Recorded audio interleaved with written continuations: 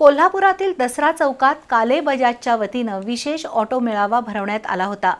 खासदार धनंजय महाडिक यांच्या उपस्थितीत बजाज फ्रीडम सीएनजी दुचाकीचं अनावरण करण्यात आलं.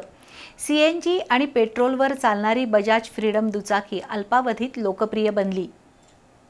बजाज फ्रीडम या नावानं जगातील पहिली सीएनजी टू व्हीलर बनवण्यात आली आहे कोल्हापुरातील दसरा चौक इथं काले बजाजच्या वतीनं विशेष मेळावा आयोजित करण्यात आला आहे.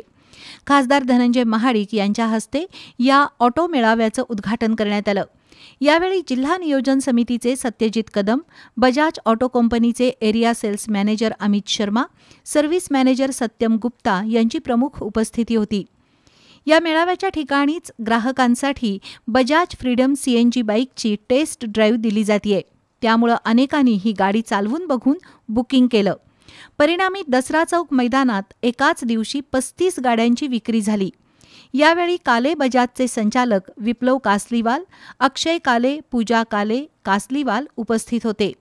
बजाज फ्रीडम ही सीएनजी बाईक तीन मॉडेलमध्ये उपलब्ध आहे. पंच्याण्णव हजार ते एक लाख दहा हजारपर्यंत या बाईकची किंमत असून दोन किलो सी एन जी आणि दोन लिटर पेट्रोलमध्ये ही गाडी साडेतीनशे किलोमीटर चालते. मेंटेनन्स खर्च अत्यंत कमी असून कोल्हापूर जिल्ह्यामध्ये सुमारे तीस सी एन जी पंप आता उपलब्ध आहेत. त्यामुळं बजाज फ्रीडम गाडी दिवसेंदिवस अल्पावधीत लोकप्रिय बनली आहे.